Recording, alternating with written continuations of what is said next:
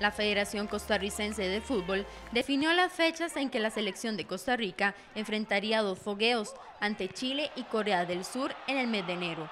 Según el director de selecciones nacionales, Ricardo Chacón, la Sele jugaría contra los sudamericanos el 22 de enero y ante los coreanos el 25 de este mismo mes.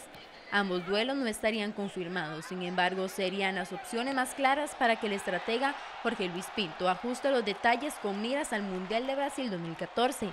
El directivo explicó, con Corea las conversaciones están más avanzadas, se ha hablado de algunos términos, con Chile estamos esperando que vuelva el director de selecciones, que anda en gestiones en el exterior.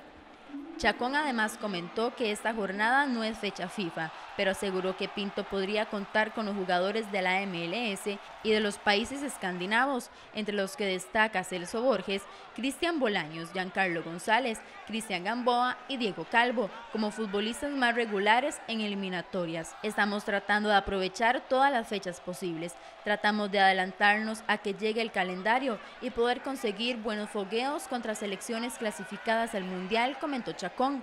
La selección tica viajaría a Chile, mientras que ante Corea del Sur jugaría en Estados Unidos.